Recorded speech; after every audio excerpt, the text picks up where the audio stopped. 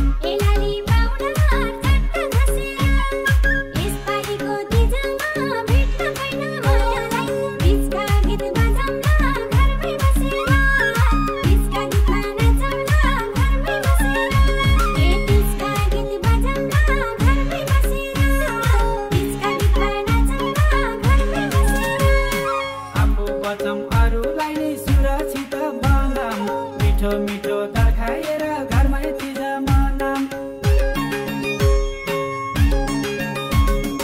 आफू बचौँ अरूलाई सुरक्षित बनाऊ मिठो मिठो खाएर घरमै तिज चिज बनाऊ सानो कम्मर कसेर यसपालिको